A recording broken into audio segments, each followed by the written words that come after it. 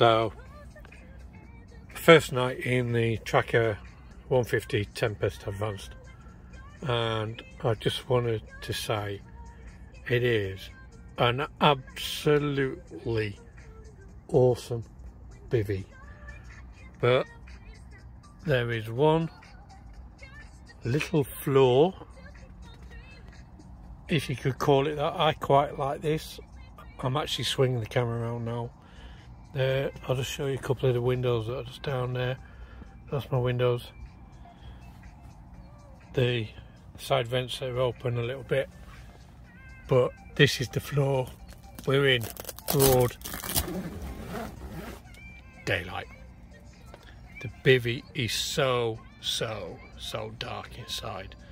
So guys, if you ever do get one, just make sure that you do have the lights that you can look after yourself at night or through the day. If it's pouring down with rain you will need to have lights with you. But apart from that I mean the zips are flawless absolutely flawless. Superb the way they come down. Loving it absolutely loving it but very very dark guys. Enjoy